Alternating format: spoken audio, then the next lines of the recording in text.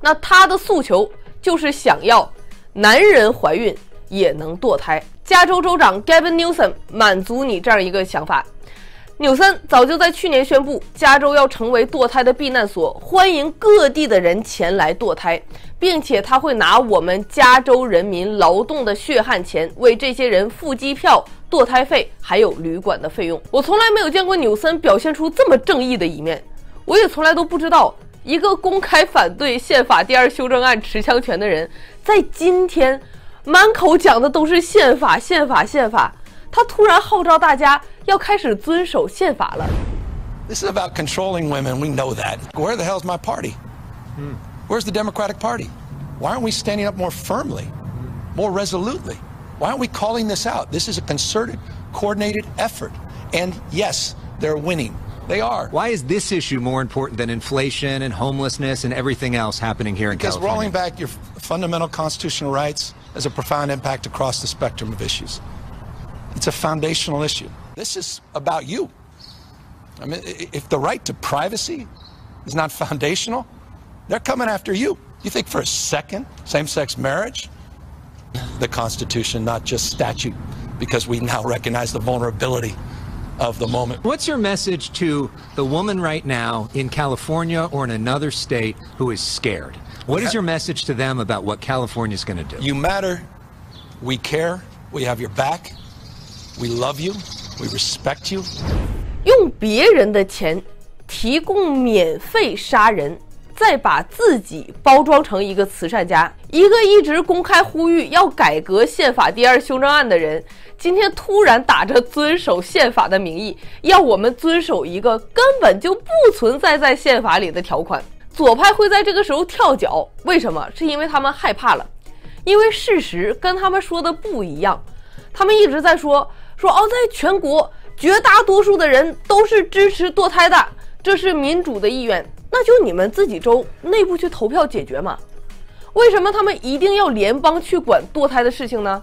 就是因为他们知道，支持堕胎不会是民主的结果，因为并不是全美国的大多数人都支持堕胎。现在左派在这场战役中害怕了，所以他们把什么跟这个事儿相关不相干的全部都扯进来，LGBTQ 的人也一股脑的全部都拉进来。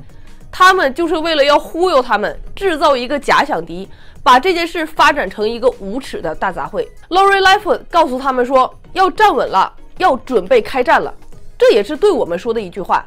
那么接下来呢？大胆预测一下会发生什么事儿，大家心里都有个数。马上要到六月份了，六月份是什么月份呢？是左派声称的骄傲月要到了，LGBTQ 的组织抗议游行又要开始了。如果在他们抗议游行的时候，最高法院的判决就在那个时候下来，正式宣布堕胎不受宪法保护，那么各个大城市会不会发生暴动呢？黑命贵、安提法会不会一起出来打砸抢呢？洛杉矶、芝加哥、波特兰、纽约这些大城市会不会又成为他们攻击的主要中心呢？在伴随着现在的经济危机、物价飞涨、油价上涨，朋友们多储备一些物资在家里吧，趁着便宜的时候赶紧买一买。有枪的抓紧时间提上日程去找教练练一练。没事儿出去呢，踏踏青可以，市中心就不要去了。刚才我说的那些，我真的希望不要发生，但是的确有可能，而且可能性还不低。尽管有可能会发生，但是千万不能妥协，坚守底线，抗争到底。非常感谢你的收看，那以上就是我们今天全部的节目，我是弗丽莎，我们下次再见。国度基业施工荣幸地邀请到了 Andrew 牧师来分享启动土耳其以色列华人宣教的使命。Andrew 牧师在一九九三年回应神的呼召，前往土耳其宣教。他们建立教会，援助难民。在历经二十三年之后，在二零一六年被控告为恐怖分子，被关押在土耳其监狱两年。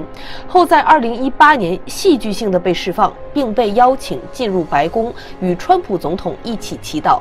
五月十九号星期四，美西早上七点到九点，亚洲时间晚上十点到十二点，以色列时间下午五点到七点，欢迎来参加由国度基业事工主办的线上分享会，一起来听一听这位传奇人物的宣教使命。